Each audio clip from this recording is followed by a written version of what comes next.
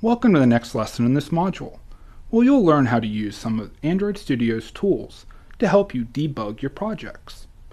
Debugging refers to finding defects or bugs in your programs. The term bug is credited to Admiral Grace Hopper when in the 1940s she found a moth stuck inside a computer that she was working on at Harvard for the US Navy.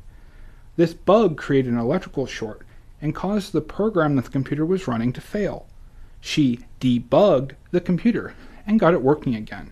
Hence, the term became applied to computing when it comes to finding and resolving problems.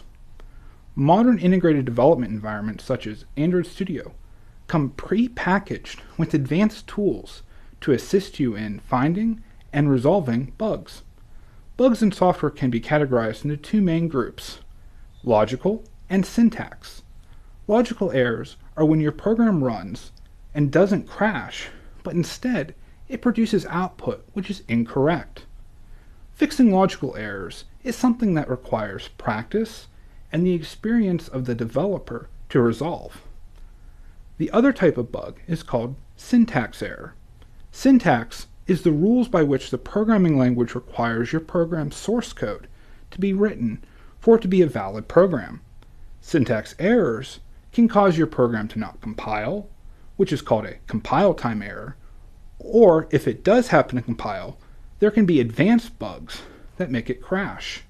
These bugs are called runtime errors, since you only find them when you try to run your app. Both of these types of syntax errors, or bugs, can be caused by a lot of reasons, ranging from the code missing some type of keyword, a character in the source code files being in the wrong place, perhaps a simple typo, or more complex topics, which we will discuss later in this course. In this video, we'll discuss some of the tools available to you in Android Studio that will help you try and resolve syntax errors. While programming, you will encounter times when your program's syntax isn't correct. Syntax is the rules by which a programming language is required to be written for it to function. When your program has syntax errors, it won't be able to be compiled or tested. I have a simple example program in front of us right now. This file has no syntax errors, but to create one, all I have to do is delete this semicolon right here. When I do this, several things will happen. Now, you will notice a red squiggly line where the semicolon used to be. This is indicating that there is an error here.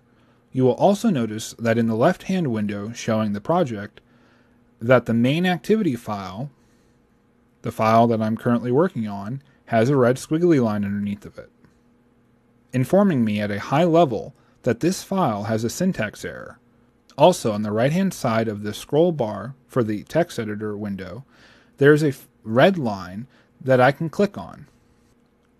Because the syntax error in my code is simple, the editor gives me a hint as to what it thinks the problem is, informing me that a semicolon is likely missing.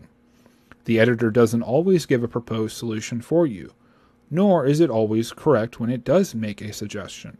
But its suggestion is a good starting place for what might be causing problems for you. If you click on the red line, the editor will take you to the location of the error. Adding back in the semicolon removes the red warning lines from within the file, from the project description, and from the right hand side, and indicates that the application is now back in proper syntax. The first step in fixing bugs in your app is to first identify and locate them. Now that you've completed this lesson, you should understand how to identify, find, and even how to read the suggested tooltips about syntax errors within your app.